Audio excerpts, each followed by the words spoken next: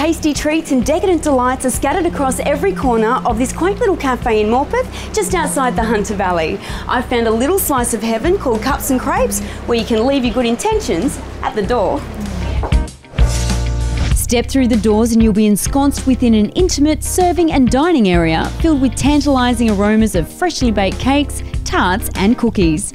Interiors coated with welcoming shades of cream, white, and mocha set the scene for a morning or afternoon of gastronomic indulgence.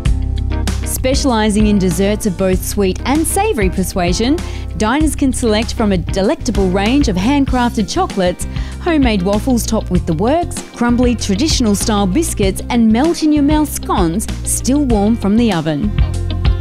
Now, Cupz 'N' Crepes is famous for its four-tiered chocolate Belgian fountain, and no, you can't dip your marshmallows into that. However, you can dip your marshmallows and your strawberries into this beautiful chocolate fondue.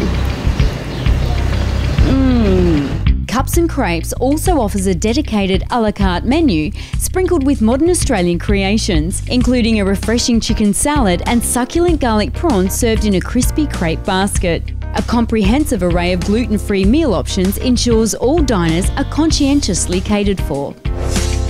So when your sweet tooth demands satisfaction or you're after something a little more savoury, keep Cupz 'N' Crepes in mind. It's the boutique cafe here in Morpeth that will satisfy your every indulgence.